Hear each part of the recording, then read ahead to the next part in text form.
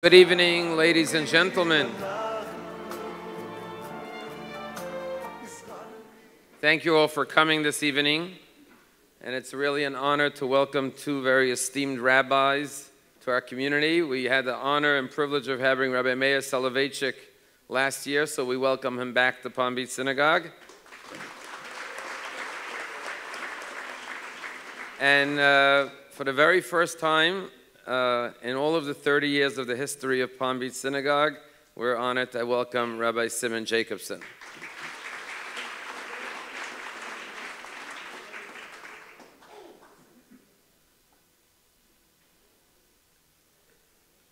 I think people expect the story, so uh, I don't want to disappoint. But they, uh, they tell a story about this atheist who was uh, traveling, he was going hiking in the forest, and suddenly he comes across a big bear. And the bear stands up on his hind legs and he looks like he's hungry. And this poor atheist starts panicking. And he says to God, God, you know, I don't want to be a hypocrite. I never believed in you. I denied your existence my whole life. It wouldn't be right for me to suddenly pray to you for help. But I'm not going to ask for me to become a believer. But if you could make the beer a believer, so maybe have a little, he'll have a little rahmanas on me. And just when he finishes that uh, prayer to God, the beer stands erect, puts his two paws together, starts swaying and mumbling words in Hebrew. He said, I can't believe it. God answered my prayers. The beer became a believer, God fearing, and suddenly he heard the last few words of his prayer Hamotzi lechem min haaretz. well, they say there are, there are no atheists in a foxhole, and while many people have grown in their faith since October 7th, turned to God, because you definitely can't turn to man in these dark days. So many have turned to God and come closer. But for many, their faith has been shaken and questioned because we heard about the Holocaust, but most of us didn't experience it. But here we experienced the Holocaust, or the worst day since the Holocaust. And so we thought it was most appropriate to invite two esteemed rabbis to discuss faith after October 7th. It's really an honor to welcome everyone here, but it's all in thanks to two very special individuals who have brought the most wonderful series to our community, the Critical Conversation series. So once again, I want to thank Paul and Terry for everything you do. For the Jewish people worldwide, but we're fortunate to call you friends and members of our very own community. So without any further ado, I'd like to call upon Terry Kassel to introduce the evening.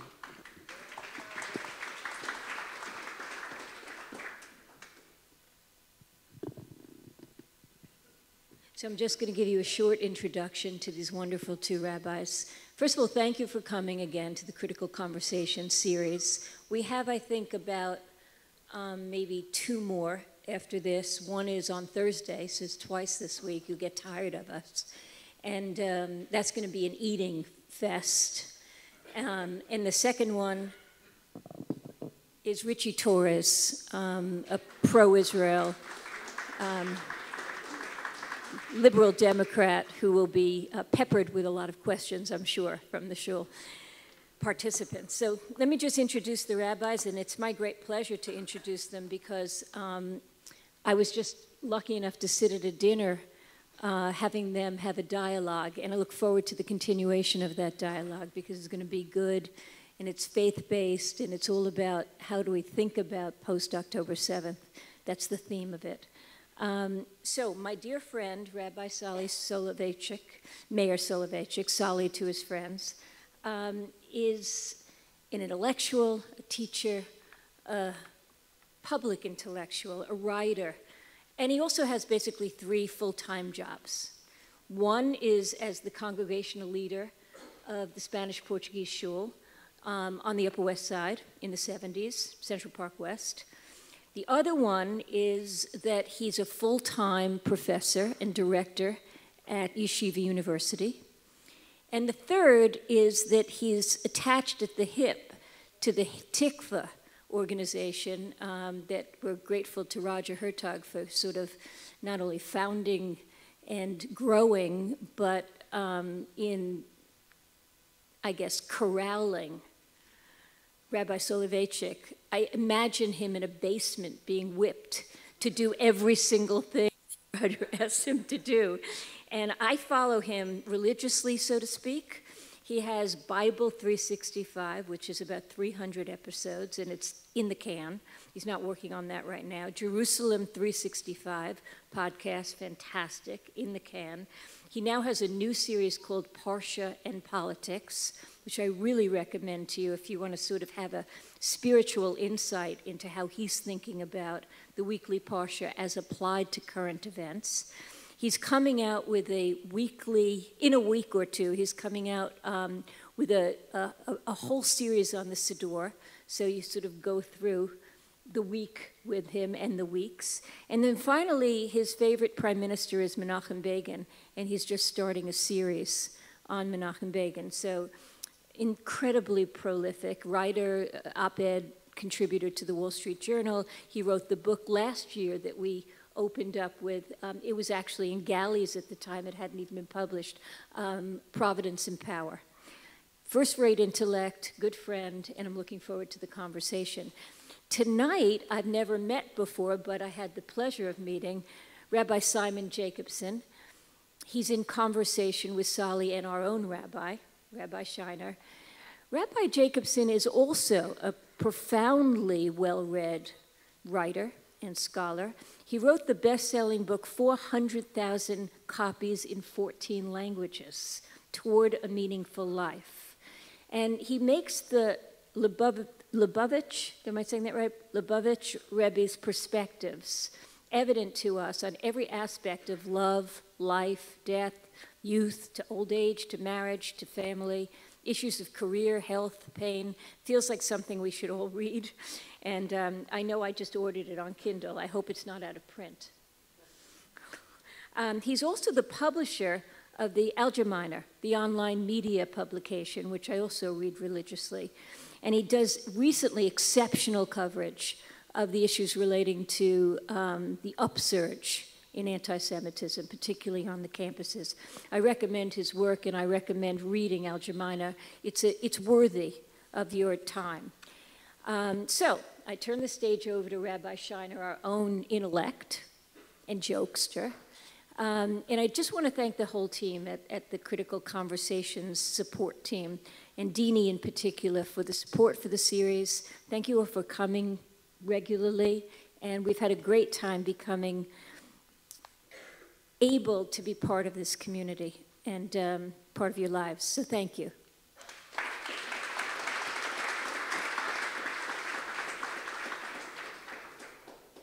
Good evening, rabbis. It's a pleasure to be sitting here with uh, two such distinguished rabbis. So, I think the best place to start our conversation is since the topic for tonight's uh, discussion is faith after October 7th, why don't we begin by defining what faith means from a Jewish perspective? Uh, as a rabbi, I've met many Jews who said, Rabbi, uh, I'm, I'm a thinker, I'm an intellectual, I work on logic and reason. Faith just doesn't work for me. Can you be a faithful person, an intellectual thinker, rational, logical person, can they coexist? Uh, so if you could elaborate on what faith and the definition of faith is from Judaism's perspective. Deferring to me. Okay, good evening. Firstly, thank you for having me, and uh, I'm honored to be sharing the panel, our distinguished Rabbi Soloveitchik. Being uh, as one who deals with many people from all backgrounds, and primarily skeptics and cynics. So, this question I hear all the time. Of course, faith is for the weak, faith is a crutch, faith is escapism, nothing to do with reality. It all goes back down to the battle between science and religion, where science has replaced the need for faith and uh, this is pretty much common Western thinking for most people. Um, so faith remains this enigmatic. At the same time, you find quite intelligent people who have, uh, are deeply faithful. So let me without going into all the stereotypes, just cut through them. The Jewish definition of faith may surprise you. Faith is not the absence of reason. Faith is not for the desperate when all else fails. Faith is actually an even more powerful tool than the rational mind. And I would submit that most decisions that people make in life are not based on logic. They may not call it faith, they may call it emotions, intuition, instincts, love, whatever you want to call it, but it's definitely not pure. We're not computers. The biggest decisions in life are going to be based on something that's far less tangible. The Jewish people, from the beginning of time, recognized this truth from Abraham that the mind could only lead you that far. It's a machine, it's a great machine, a sophisticated machine, but could only lead you that far. It leads you to a door, and the only way through that door is with something that is super rational. Super rational, not irrational, and not beneath the rational, beyond the rational. And that's a domain for those that are the most intelligent people, are the ones that have the deepest faith, because the wiser you are, the broader the horizons you see. You see how much more there is to know. And I'll add just one more point, which I'm sure we'll talk about more, is that faith is actually, I would say, I was even thinking about a title of a new book, Weaponizing Faith. It's our single most powerful weapon, more than our minds and more than our wits. So we need our minds, but then we need something that has that super rational, unequivocal, unwavering conviction, which is what gave us the power to be here today, thousands of years, like no other nation. So before I speak to the very important question, I just want to uh, emphasize how uh, joyful I am to be here. I want to express my profound gratitude to Terry and Paul for the blessing of their friendship. I want to say how delightful it is to see so many old friends here in Palm Beach and to specifically stress uh, how happy I was to see Roger and Susan Hertog and to spend time with them here this evening. In analyzing what faith is, especially after October 7th, we should take note of the fact uh, that in a profound way, at least in Israel, faith has increased rather than decreased following those terrible events. Uh, there was just a recent Jerusalem Post article which told us that, quote, an absolute majority of respondents, 75%, said that since October 7th, they feel a greater connection uh, they feel a greater connection to the state of Israel and the diverse Israeli society. And then it adds Israelis have become closer to God and Judaism in the past four months. 33% of Israelis have reported a strengthened faith in God since the October 7th massacre by Hamas. So we have these two things going hand in hand a strengthening of faith and a strengthening of a connection to the Jewish people, which seems to indicate that there is a bond between the two. What does that mean and what does that tell us about faith? And why has faith increased rather than decreased in Israel following October 7th? So I'm just taking a, making an attempt at the answer, but I would attempt to answer it in the following way. Uh, there's a very dear friend of mine, uh, dear to some here in the audience, uh, Dan Senor, uh, who wrote, of course, a very well known book uh, called Startup Nation about Israel. And in the months preceding October 7th, he, along with his brother in law, Saul Singer, were working on a new book uh, called The Genius of Israel.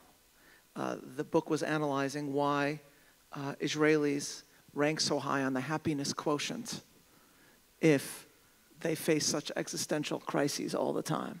By the way, post October 7th, they did another survey, happiness survey, and among young people, Israel ranked number two in happiness in the world. Number one Lithuania. Uh, so, as a Litvak, a Lithuanian Jew, I'm like the happiest person in the world, which is what Litvaks are known for, uh, for sure. That's our thing, is the joy and happiness of life. Um, but uh, the answer he proposes in the book is uh, that uh, Israelis deep down understand that they are part of something much larger than themselves, something remarkable something really utterly unlike most stories on earth. The problem for my friend Dan is that as this book was about to be published, Israelis were, Israeli society was tearing itself to pieces. Uh, the publisher was saying maybe we shouldn't publish this book. First, because it was slated to be published on the same date as Barbara Streisand's memoir was going to be published. Uh, and Dan had to convince the publishers that this is a slightly different audience for this book. Uh, and then, second, you saw Israelis at each, really, at each other's throats. But Dan said, no, we're making an argument in the book that deep down, deep down, really, Israelis do sense this. They still sense this. It's beneath the surface. And then, right before the book was supposed to come out, on Yom Kippur, we saw scenes in the streets of Tel Aviv where Jews were fighting over just having a traditional Yom Kippur service, uh, providing it in the streets of Tel Aviv to just denizens of the city who wanted a traditional moment of faith. And then, of course, less than two weeks later, uh, everything changed. And a week after that, you'll recall, I think it was maybe October 13th, 14th, uh, there was a Shin Bet operation where one hostage was saved. You remember that. And there was a scene that unfolded on Israeli TV where the news broke during the news, during the broadcast, where it was announced that this hostage was saved. And the, anch- the anchor was a secular Israeli. He was sitting next to a contributor who was wearing a kippah. And he turned live to the, uh, to the contributor and he said, Can I borrow your kippah for a second? And live on screen, he takes the kippah puts it on his head, and says a blessing. Blessed are you, O Lord, Matir Asurim, who frees the captives. Uh, and on Twitter, uh, a tech guy commented, and he wrote, One month ago, I could not imagine a scene like this. And my friend Dan immediately retweeted it and wrote, It was always beneath the surface.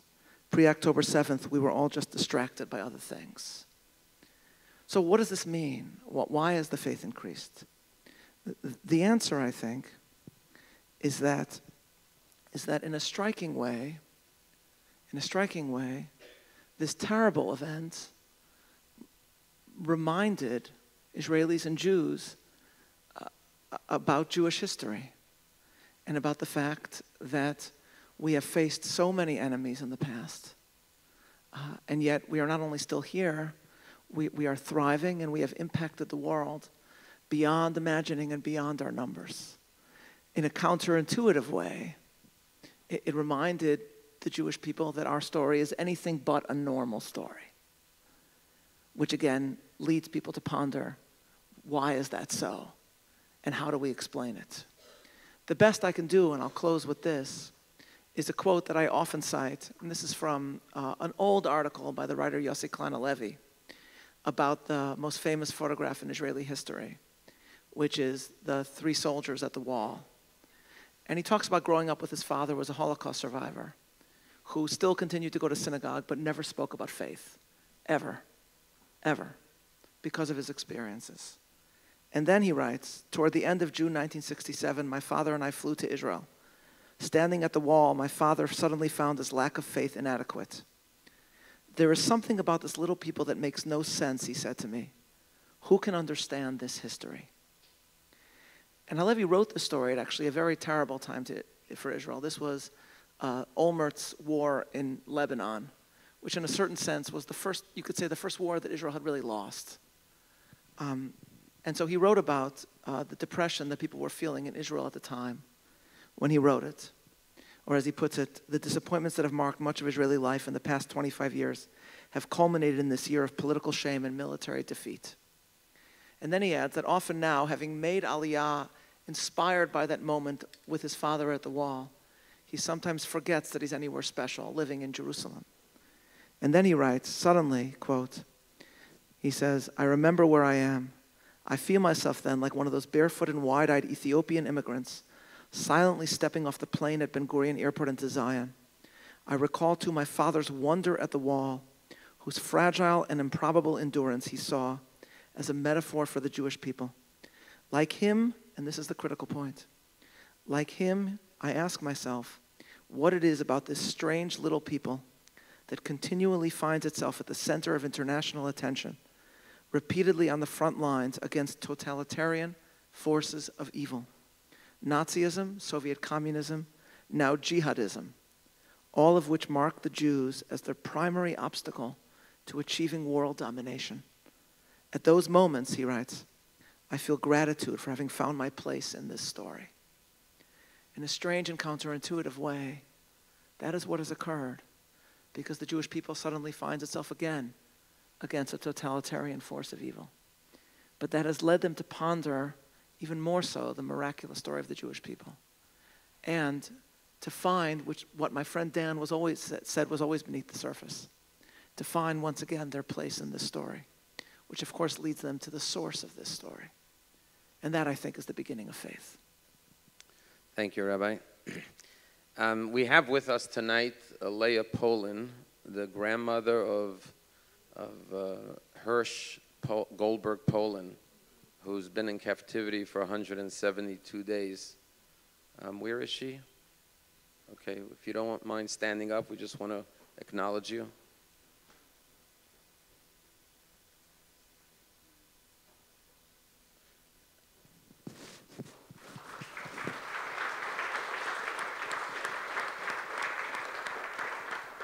All of our hearts are joined in prayer with you that you should be reunited with your beloved grandson amen speedily. But the, the difficult question I think that many of us have on our mind is, you know, we say in our Shemona Esrei three times a day in the opening prayer, Melech Ozer Umoshia Magin. God is a king who helps, saves, and protects. We refer to God throughout our prayers as Av HaRachaman, a merciful, compassionate Father in heaven. Knowing the atrocities that occurred on October 7th, and we don't have to speak the horrible things that occurred to innocent men, women, and children, little children burnt alive. It was a Holocaust. How can we say those words with sincerity that God is a king who helps, saves, and protects? And that He's merciful and compassionate. Where was God on October 7th? And what role did God have in the events and the tragedies of October 7th? Rabbi Jacobson first.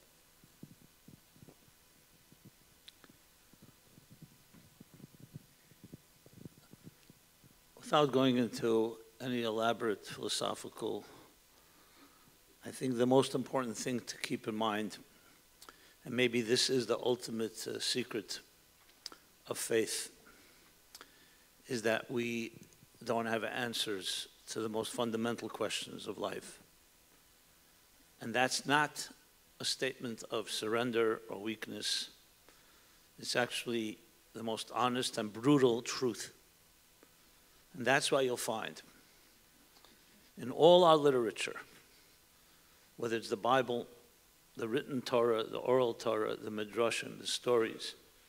And we know how much, we don't even know how much, but we know in every generation we've suffered. Nowhere has anyone ever tried to answer the question why did this happen? Where is this good God that promised grace, blessings, gifts? The only answer you find is actually the exact opposite. When Aaron's two sons tragically died in the Holy of Holies, it says, Vayidem Aaron, Aaron fell silent. When the Roman emperor perpetrated his atrocities, the October 7th of that time, that we repeat every Yom Kippur. Ela Eskere, we say, these are the ones that are remembered. The ten martyrs, the Asare Aruge Malchus. And in graphic detail, it describes how they were brutally murdered, which I will not repeat. So the angels and Moses himself come to God and say, Zu Torah this is Torah and this is its reward. And what does God answer? Of anyone has an answer, God has an answer. And they had access. God responds, Shteik, be silent, kach that's what arose in my thought. Again and again, silence, silence, silence. So ostensibly, it would sound okay, you don't have an answer, so you're quiet, you're silent. It's not correct. Is the most powerful answer possible. Like the old Belzer Rebbe, they say when he was asked after the Holocaust, he said, if God, he was asked about these events, he said, if God wanted to come to me and explain to me why it happened, I wouldn't want to hear. What are we going to do? Exactly justify why one and a half million innocent children went up in smoke? The best of us, and what doesn't matter, every innocent Jew, we're going to find an explanation. The explanation would be even more criminal and more painful and more obscene than the crime. Now, in this lies tremendous, tremendous truth.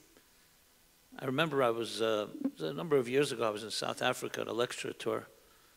For some reason, at that period in time, there were quite a few tragedies in the community there. Loyalenu, God should protect us all. Parents who'd lost children. I mean, it was really horrible. And they asked me to give a private session, a private talk, just to those that had recently suffered. Honestly, I, it was so uncomfortable.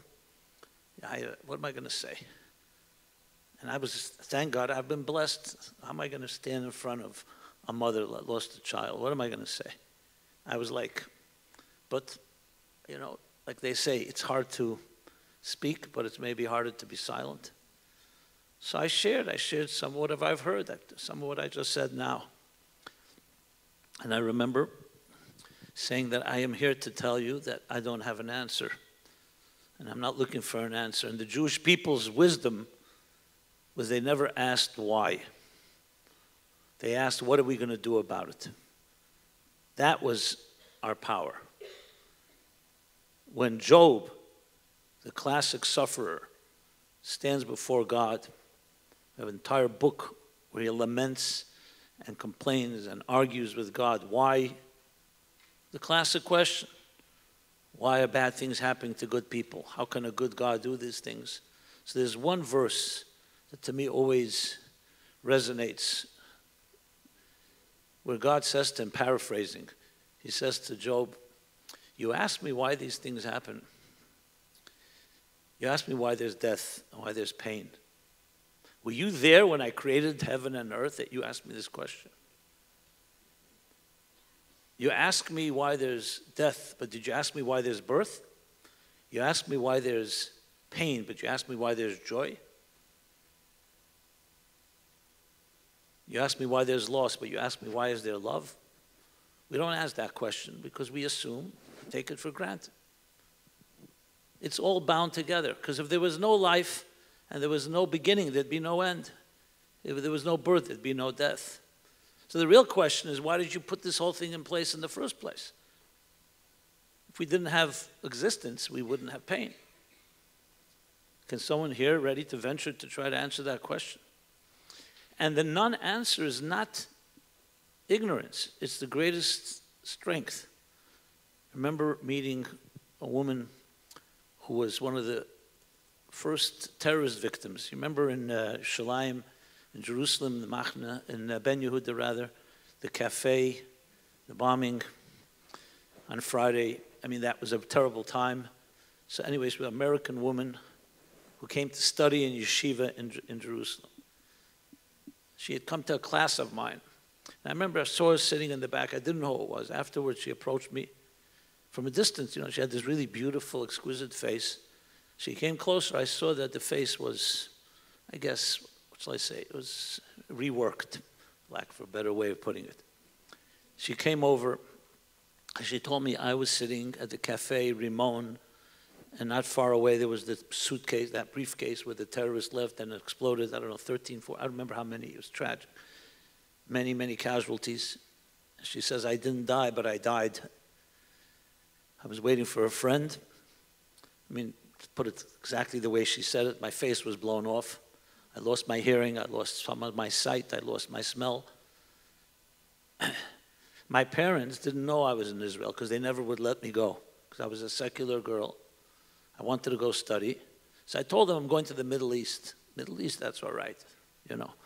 Um, and then they saw her on CNN covered in blood. And they, of course, came flying. She said, Why would God do this to me? I came here to study His Torah in His promised land. And of all people, I'm there on that Friday. And I used to say to God every morning, Take, take my life. Why are you leaving me here like a ragged doll? My dignity, my everything, my spirit. She actually said I was praying every day to die. And then one morning I woke up, the sun was shining in my face, and I don't know what it was, but some type of rush, some type of energy flowed through my veins. And I said to myself, I'm going to survive. I'll get through this, and I'll become stronger than ever. And I'll never, never forget the words she used. She said, Amuna, bitachon, the words for faith and trust. She says, You don't know how strong they are until you have nothing but that. And that's what saved my life. Is this scientific? Can you uh, quantify this in a laboratory? How are you going to analyze this? Thank God our enemies, beginning with Pharaoh, never understood the power of faith. Because how do you fight faith? With what weapon exactly are you going to subdue it? So, my friends, we're all in this together. One loss is all our losses. We don't need to have answers to be able to forge ahead. And the acknowledgement that there's a mystery to life and death and a mystery to existence. Why are we all here right now in 2024? Why weren't you born 80 years ago in Europe? Can you answer that question? We have no idea. Why were you born into your family, into this place in the world? Why are we all here tonight? Most of the biggest questions are part of the mystery. And embracing the mystery is not trying to figure it out, not trying to philosophize it or quantify it. It's figuring out, as I said, not why, but what are we going to do about it? And yes, the Jewish people say to God the following We have suffered greatly in your name. We have suffered greatly because you chose us. And we have tremendous anger, even. And we even have complaints. But we are not going to give up on the goodness that we believe in no matter what happens. And even when you, God, sometimes are concealed and your face is concealed, we will continue to fight the good cause. Now, what God is thinking when He sees that, I, uh, I don't envy Him actually, you know. That is the Jewish people in a nutshell. So we don't have the answer to the why, but we become better people and greater people, and that's the ultimate answer. Like every Holocaust survivor will tell you, our revenge, they pull out a photo album. Here's my revenge. My children, my grandchildren, my great grandchildren, the communities we've built, the families we've built, the country we've built, and everything that comes with that. Thank you, Rabbi Soloveichik. So it's very interesting. Um, as Terry kindly mentioned, I, I write columns for various publications. I write a uh, monthly Jewish commentary column for Commentary Magazine. And many times you publish something and you don't really hear a very strong response from what you wrote.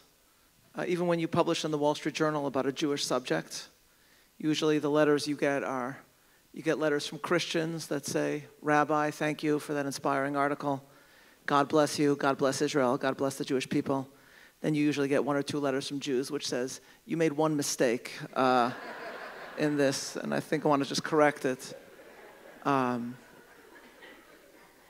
but column I wrote recently in commentary, I got an overwhelming response, which really I, I didn't I don't I didn't expect it. Uh, and the story that I told in this article centered around two Israelis uh, that were taking part in, in the post October 7th war. Uh, the first one is a man, an amazing man by the name of Golan Vach. Golan Vach is the head of Israel's National Rescue Unit, uh, which means that he descends in cases of disaster. All he sees is death. That's his job. He's, he's a, a, a very devout person, and all he sees is death. He came to Florida here after the Surfside uh, collapse. He was here, and he was, he was one of those sent in immediately. after October 7th, and all he dealt with was corpses. And in an interview, he, he said, this just give you a picture of who he is. He says that after he had handled 250 bodies, he said a small prayer to God that something should change. And he said, Suddenly, out of nowhere, two terrorists opened fire from the right side of the road. We charged at them. One member of our group was wounded, but we killed both Hamas gunmen. And then he said, I thanked HaKadosh Baruch Hu, I thanked God, that I was granted the opportunity to revert back to being a soldier, not a body carrier, for a few minutes. So that's the type of person Golan Vach is, just to give you a sense of him. So Golan Vach told this story that he was serving in Gaza, middle of the night, with another uh, uh, religious Zionist Israeli by the name of Yossi Hershkovitz, uh, who's the principal of a religious school in Israel, the Pelech School. And uh, Hershkovitz was from a musical family, as are the, the Vachs. Um, and he heard Hershkovitz singing something, humming in the dark while they're serving in Gaza. And so he said, what are, you, what are you singing? He said, Oh, it's a song I composed. She said, When did you compose it? He said, Now. In other words, you know, in Gaza, obviously. Uh, what else are you going to do? Uh, and he composes a song. So Vach says, Teach it to me. And so there in the dark, Hershkovitz sings to Vach the song that he had composed. The tune was new, but the words were very old. It was Gam Kielech Begetz Al Mavet Lo Yirara Ki Yea, though I walk through the valley of the shadow of death, I will fear no evil, for you are with me. So here you have two people who are in the valley of the shadow of death. And one of them spends his entire life serving in the valley of the shadow of death. And he is singing this song together with the composer of this song, Yossi Hershkovitz. Uh, several days later, Yossi Hershkovitz was killed, uh, fell, uh, serving in Gaza. And then Vach, as he describes, experienced another loss after he lost Hershkovitz physically, which was that he said, I couldn't remember the tune that he had taught me. And then he said, it, at the funeral, it came back to me. And so he goes to Hershkovitz's family and teaches them that song. And they sing it. I think they sang it at the funeral. And they sang it at, at, at the Shiva. And then afterwards, Yossi Hershkovitz's family recorded, recorded the song. It's as it were the last gift uh, from, from their father. Uh, that's the story I told. And letters poured into commentary. I heard from one of commentary's editors, Abe Greenwald, who said, uh, you know, we've got all these letters. Everybody wants to hear the song. Uh, can you send us a link to the song? Uh, so I found the links to all these different recordings, and they posted it on the commentary website. But for me, it was unexpected. The question is why? Um, and I think first and foremost, because the story is a metaphor for faith itself. Uh, the rabbis compare the Torah to a song. In fact, the, the source for the obligation to write a Sefer Torah, according to the rabbis, is from the verse, Write for yourselves this song. It's understood to be the last commandment in the Torah. And in this rabbinic metaphor, the Torah, Judaism, faith is not turgid text, it's sheet music. So the question is, what does this actually mean? And the point seems to be that in a musical composition, no single note makes a song. It's the different notes together that create meaning. And so to speak of Judaism as a song is to emphasize that we feel somehow that despite everything, our lives are, are part of something larger and covenantally linked to others. So my late friend, Rabbi Jonathan Sacks, reflecting on this metaphor, put it this way. He wrote, Faith is more like music than science. Science analyzes, music integrates. And as music connects note to note, so faith connects episode to episode, life to life, age to age, in a timeless melody that breaks into time. And then he added, faith is the ability to hear the music beneath the noise. Faith is the ability to hear the music beneath the noise. And so somehow this captured, for so many, unexpectedly for me, what it means to have faith in the face of horror. And especially when what is being sung, what is being preserved, is a new composition from ancient words, which remind us that thousands of years ago, David, King David, faced the very same questions. And rather than give a full answer, instead chose to sing Yea, though I walk through the valley of the shadow of death, you are with me. Uh, the son, one of the videos we linked to, was the son of Yossi Hershkovitz who came to America, spoke in Riverdale. And he said, he said, now I feel, because he's lost his father, he said, now I feel as if I am in the valley of the shadow of death. Um, but I have the song, and then he sang, and of course the words take on, when he's singing his father's composition, it takes on a whole different meaning. Yea, though I walk through the valley of the shadow of death, I will fear no evil, for you are with me. Highlighting how he was connected across worlds in a spiritual connection that defied the horror. And that, I think, is, is what faith means in the face of this. Faith is the ability to hear the music beneath the noise, not to answer all questions, but to feel the covenantal connection among, within our own time and throughout the generations. That, I think, is the Jewish response. Thank you, Rabbi. In, in a, May I add something to this? Huh? Briefly? How brief? Okay. Um, no, I just just um, reminded me of a very beautiful episode. My my father was a publisher and a journalist. Was good friends with Elie Wiesel. And after my father passed away, I became I continued the tradition. And I was once sitting with Mr. Wiesel, and I asked him this question. I says, "Is it true that when the Jews were being marched to the gas chambers, that they often would sing the song Ani Mamin, I believe with complete faith. Even though you may tarry, I believe with complete faith Mashiach will come.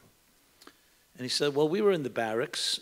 They kept us from a distance from the chambers, even though we knew what was happening, but they tried to create as much confusion as possible. But in the barracks, all the time, that song, prayers, Kaddish, Shema, you name it all throughout the day you would hear humming tunes. So I said, with all respect, I want to ask a question. You know, I'm a just an American spoiled kid. You know, I didn't endure or go through anything like this. But doesn't it seem somewhat absurd or even insane? I mean, the Jews are being marched to their deaths. It's the worst, darkest moment in Jewish history. God is completely concealed. They have all the reason to be angry at God and instead they're singing his praises. It seems like some deep dissonance and detachment here, escapism, what, what was going on? You know, I say it with respect, I'm just trying to understand. And I remember his response, and I heard similar echoed by others, which I just thought would be good to add to this discussion. Um, he said, no, exact opposite is true. The Jews were declaring for then and forever. You may take our bodies, but you can't take our souls. You may take our lives, but you can't take our faith.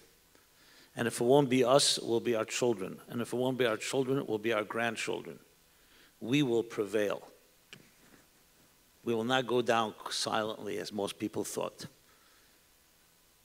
And indeed, a few years after I heard that story, I was in Berlin at Hanukkah and I asked the rabbi to take me to the Brandenburg Gate, where we know, you know, who stood there 80 years ago? Yamach Shemai Hitler, with his thousands, hundreds of thousands of Jugendrat, spewing his venom. We have videos, pictures. He stood right there by the Brandenburg Gate. You know what's there, Hanukkah now?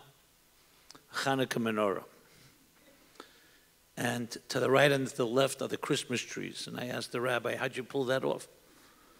So he said, I know the curator, and I convinced him for the choreography it would really look nice to have a menorah in the center and two pine trees on the right and the left.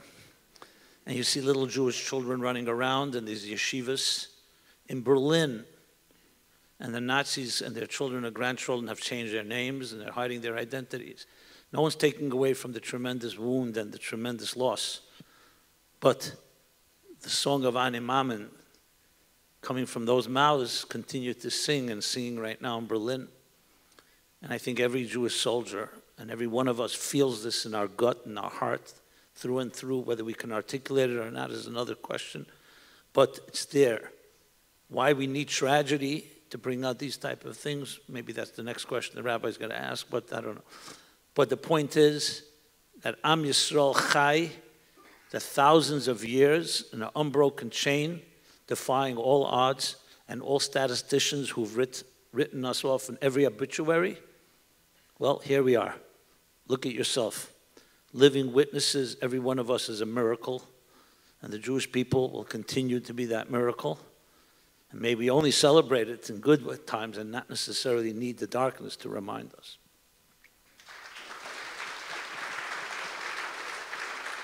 I'm going to ask one more question of the rabbis and then we'll open it up for questions from the audience. I've heard many people say since October 7th that October 7th happened, you know, searching for a reason, for some understanding why did this event, why did this tragedy befall us? And many have said, well, Israel was on the verge of a civil war, unprecedented division and rift and hatred of Jew against Jew.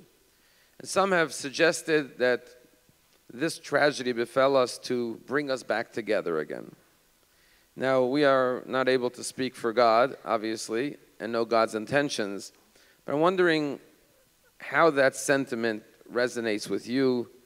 Do you subscribe to that? Does it, is it something that, that you ascribe meaning to the tragedy of why it may have occurred?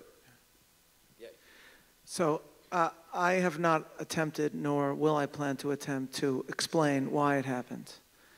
What I, what I do think about is about the date on which it occurred and what we can do to find meaning in that. So just as, for example, my great uncle, Rav, Soloveitchik, used to emphasize the fact of the date of the Yom Kippur War uh, and how the very theme of Yom Kippur is the vulnerability of human beings and how that attack came to a country six years after the Six Day War that felt strong and confident and almost invulnerable, and how Yom Kippur and its theme was made manifest on that day. For me personally, I've tried to find meaning in, and indeed consolation and inspiration on the date on which it occurred. So this is, as I wrote in the journal really right after October 7th, that uh, these many decades after the Yom Kippur War, we now have the Simchat Torah War. People haven't been calling it that, but that is what it is. It's not the October 7th War, it's the Simchat Torah War. That's when it broke out.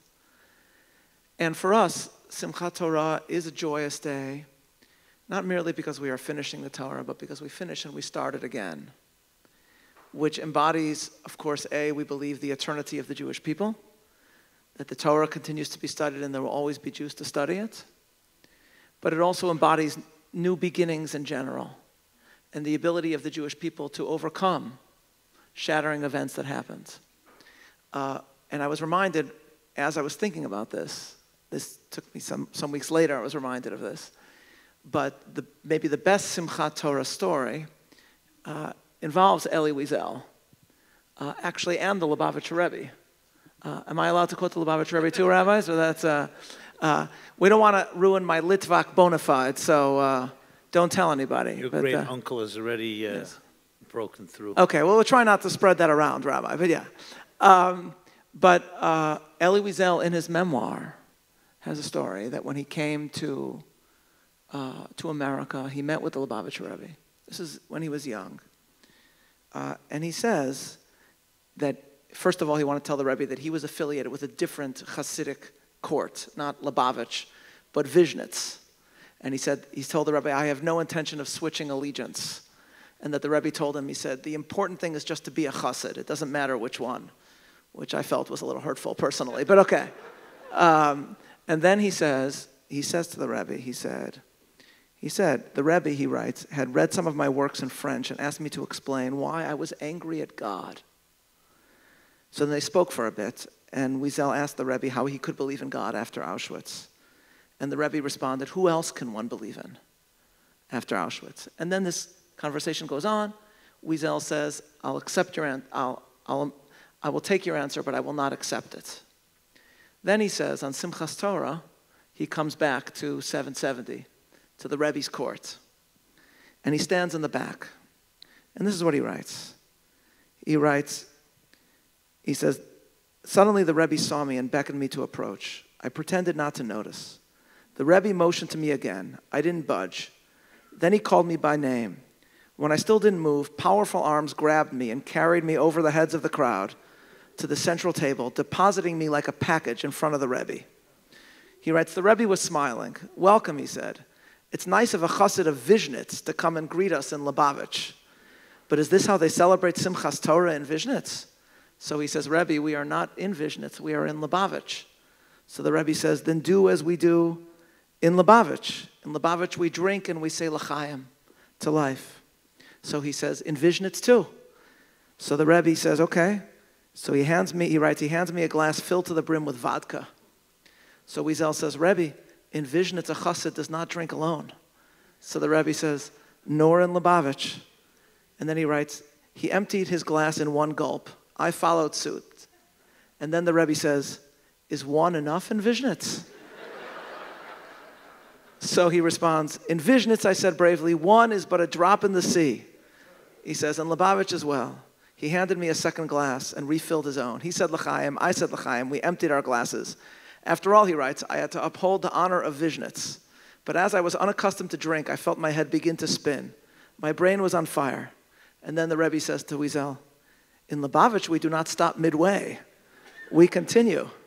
And in Vishnitz, he says, in Vishnitz too, we go all the way.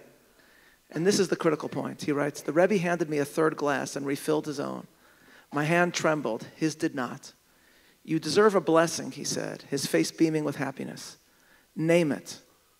I wasn't sure what to say. I was in a stupor. And then the Rebbe asked, Would you like me to bless you so that you can begin again? So Wiesel writes, drunk as I was, I appreciated his wisdom. To begin again could mean many things. Begin again to drink, to pray, to believe, to live. And then he writes, it was Simchas Torah, which is also my birthday. Yes, Rebbe, I said, give me your blessing. And then he writes, he blessed me and downed his vodka. I swallowed mine and passed out. I awoke outside, stretched out on the grass where I had been carried again by the same arms above the heads of the crowd. Several paces away, a young chassid was offering a dozen or so men an eloquent explanation of the profound aspect, the mystical significance of my exchange with the Rebbe. So, what are we to make of this story? I'm neither a chassid of Vishnitz or Lubavitch, um, but I think you do not need to be a mystical master to understand it. Does one stop midway in L'chaim? Can one, after experiencing destruction, begin again, embrace the world anew, embrace life anew, embrace faith anew? That has always been the Jewish response. And that, of course, is what Simchas Torah is all about. Simchas Torah is about new beginnings and the capacity of the Jewish people to begin again. For me, it will always be the Simchas Torah war. And for me, of course, I will never forget the horror of what we knew was transpiring on that day. But for me, the very name of the war will itself prove a source of inspiration as well.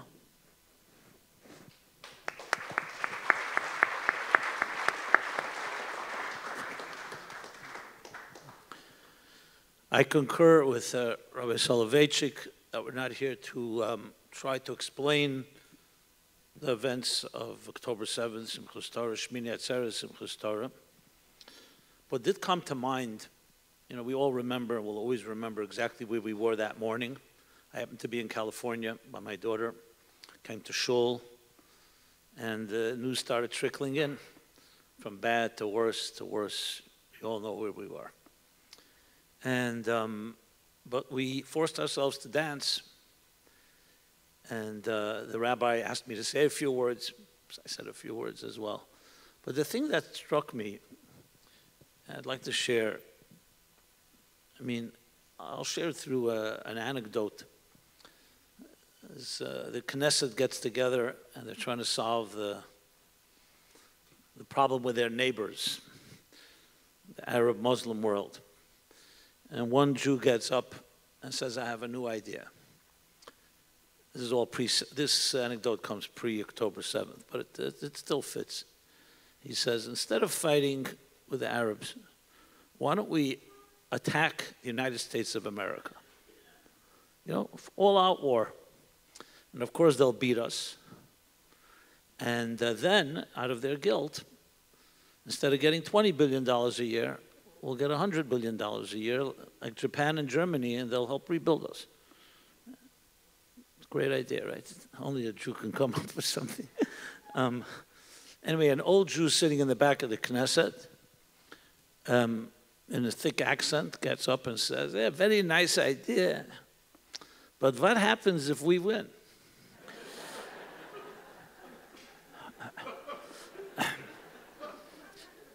In other words, we Jews have mastered the art of defense. Nobody can play defense like we do. We've defended ourselves and protected ourselves and survived everything and everyone and every. But offense is a very different story. Um, I think this is one of the both tragic but also tremendous opportunities we have now. And that's what came to mind that, that morning. And that is, I hear this all the time from especially young people. You know, I'm sick and tired of hearing, what is a Jew? A Jew? A Jew is an anti anti Semite. You know? A Jew declares, stop killing us. Is that what we stand for? You know, there was a time where the Jewish homeland united everyone because we had a Holocaust, we had Europe, we had persecuted, and everyone was united, at least most people were united, that we need a homeland, fine. But that's when you're fighting enemies. Once you have a homeland, what is the vision for the future? What is the Jewish vision? I challenge myself and I challenge all of us here. What is our vision? Is it just to eliminate Hamas and all our enemies and no more attacks? And then we'll feel that that's victory? We all understand the necessity for that. I'm not, I'm not minimizing that. We can't be attacked like this, God forbid, and so on. But what do we stand for? Are we able to declare what's the vision for the next 10 years, 20 years, 30 years? If you're asked the question, what does it mean to be Jewish? Why is it important that the Jewish people be on this earth? I think uh, viscerally we all understand, but how do you explain that if your son and daughter asked you that question? And not skeptically, just an innocent question. Why is Israel that important? Why do we need to have a state, a land of Israel? Why is it so central? Why do we pray toward the east? Wherever we are in the world, we're praying toward the east. Yerushalayim is in our lips. I forget Jerusalem everywhere under a chuppah and tragically during Shiva. We're always mentioning Yerushalayim, Israel. Why is it so central? If we can't answer that question by omission, what is that saying? So I think, again, in our guts, we all feel the importance of it. To me, this is what I was thinking about when that was happening. And not, God forbid, justifying why it happened. No, no, we don't justify treasure. Could, God could always find some other way. Doesn't have to use this type of uh, method. But after the fact, Maimonides writes that tremendous line at the beginning of the laws of fasting. Why we fast at a fast day? He says, because when a catastrophe strikes a people or an individual, it would be cruel and insensitive to say it was a random, mikra nikris, it just happened. It means it's a wake up call, time for introspection and soul searching. Not painting, pointing fingers, definitely not at others, and not even at yourself, but just not to just take it for granted. What does it tell us? Yes, maybe this is a tremendous, unprecedented wake up call of the soul of the Jewish people, the soul of Israel, the soul of Torah. Why it has to come in this way, I, again, I'm not going to explain that. But after the fact, I don't know if there'll be a more definitive event in our lives, to be honest. I'm convinced there won't be. And we sure hope there won't be. But as time passes, and generations will look back at 2023, 2024, Simchas Torah War, what will they see? Yeah, we fought valiantly and we destroyed our enemy. But we want to leave something stronger. We want to say, we took the situation and we transformed it into the unprecedented wake up call to show the world once and for all you know why we're here, the Jewish people?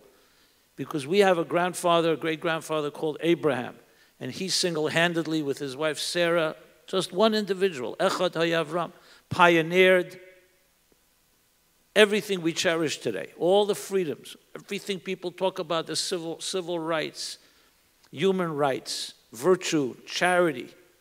I mean, people are not even aware.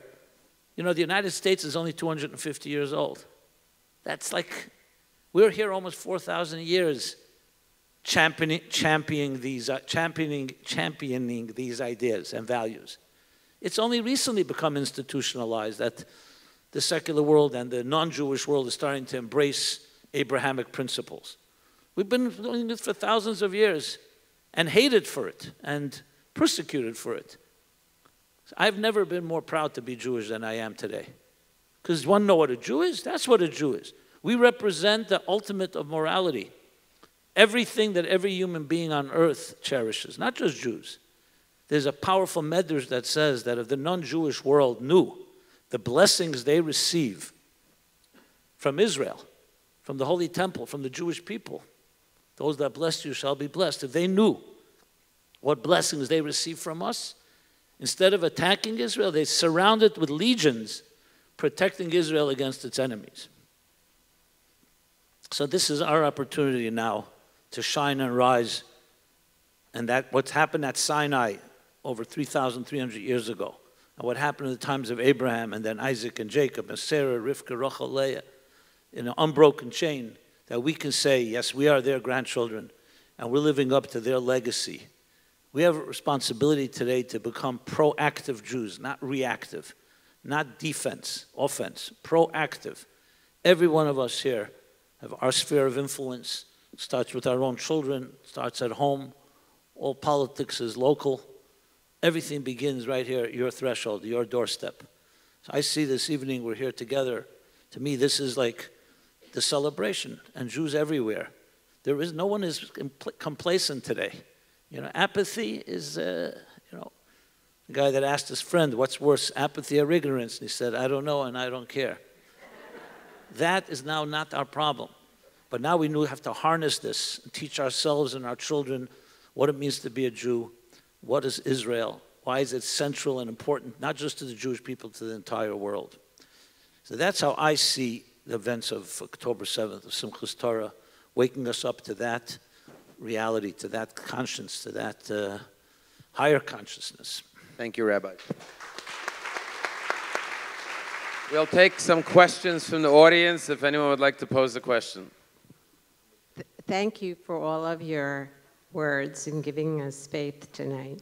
But I have a question.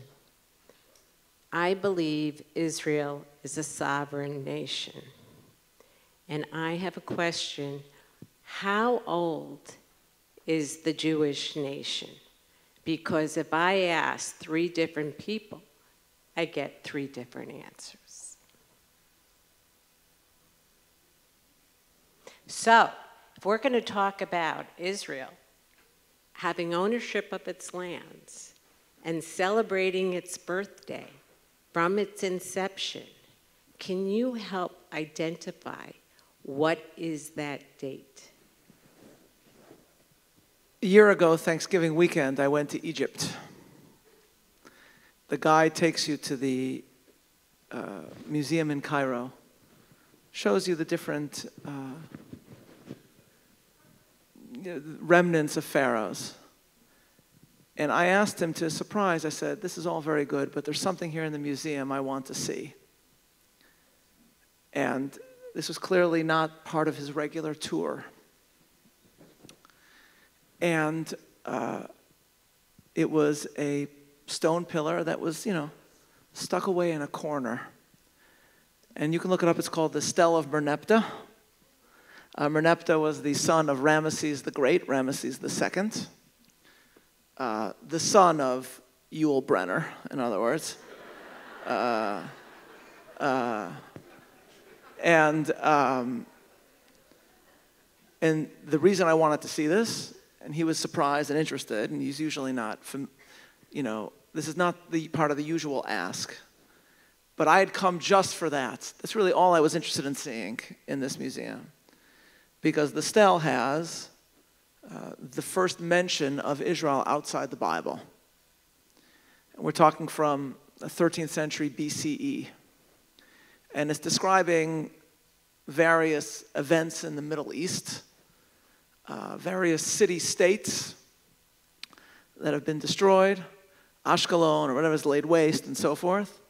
And then denoting, seemingly denoting a people that have not yet been fully established in the Holy Land, but seem to be arriving around that time and settling around that time. The stele tells us Israel is laid waste, its seed is not. That's the first mention of Israel outside the Bible, as I think Rabbi Sacks put it. First mention of Israel outside the Bible is an obituary for Israel. And my wife has a picture there of me standing with my fist uh, raised high. Basically, what I do is sort of my form of tourism is going to various museums that describe the destruction of the Jewish people uh, and marking the fact that these empires are gone. Um, so I have a picture of me there, and uh, as well as a great picture taken by my wife of me davening in talis and tefillin in front of the pyramids of Giza. Uh, so that's the first mention we have in history of the Jewish people in the region of the land of Israel. Which means, of course, that in a very real way, to use contemporary terminology, the Jewish people are what you might call the indigenous people of the land of Israel. Uh, and the modern state of Israel, uh, born in May of 1948, was, of course, a new state being born. That's why we mark it and we celebrate it. Uh, and it was the great miraculous event of the 20th century. Uh, but what it marked was simultaneously the restoration of the Holy Land's indigenous people to its sovereign rights to that land. And that, of course, is the story that we should tell. Just as Menachem Begin, my hero, as Terry mentioned, uh, who uh, incentivized the British to leave, uh, uh, led, you might say, one of the great anti colonialist movements on behalf of the indigenous people of the Holy Land.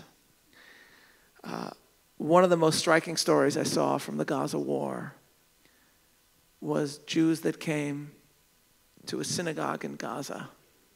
Not a synagogue in Gaza from post 1967, synagogue in Gaza from centuries ago, and prayed there for the first time in who knows how long.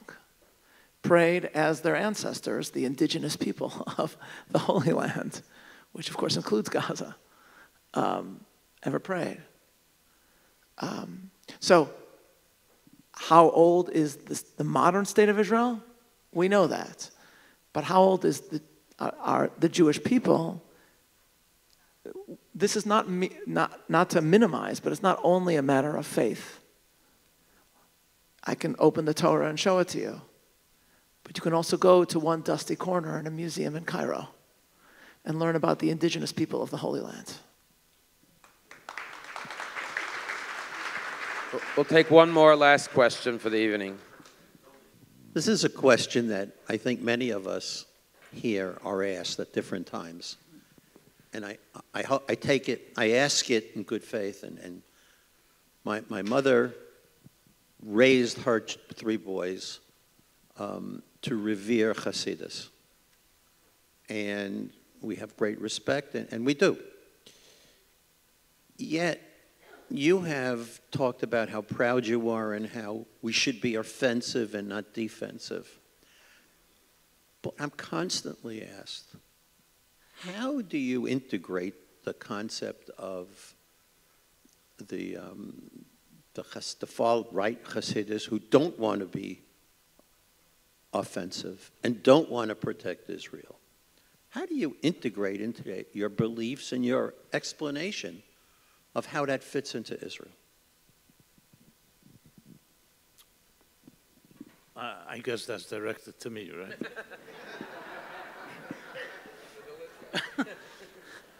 just for the record, anyone that denies their connection to Hasidim so many times in one evening, um, you know there's something going on. but we need you where you are. So, um, As a Sephardic rabbi, you mean? right, that's right. Sephardic Lit- Litvak. the happiest you could possibly be. Sephardic Litvak is the most happy demographic. Okay. Um, I count you as a, uh, maybe you said Vishnitz, Chabad. To me, we all stood at Sinai. We're all brothers and sisters, and we're all one. Here, here, Um, here, here. Yeah. And I say that to you as well.